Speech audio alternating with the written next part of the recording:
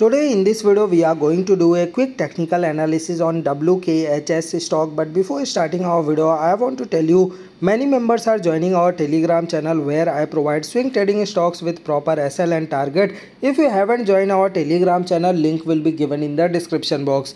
Here you have clearly seen that WKHS stock was traded near about 1.9 dollar and those who thinking to buy this stock at this price then I don't recommend you that you have to buy this stock at this price. You can clearly see that this stock was taking support at the price of $3. Every time this stock reaches near about $3, this stock try to take support from that level. Here you can clearly see that this stock try to sustain above $3. But unfortunately, yesterday you can clearly see that this stock gives a clear-cut breakdown below $3. Now chances are very high that this stock will fall more from here. You can clearly see in a daily time frame the major trend was a downtrend so this stock may continue this downtrend so those who have already bought this stock i will recommend you that you have to place your stop loss at the price of 1.9 dollar. If this stock goes below 1.9 dollar you can see more correction in this stock. So i hope you really liked our video. If you like our video hit the subscribe button.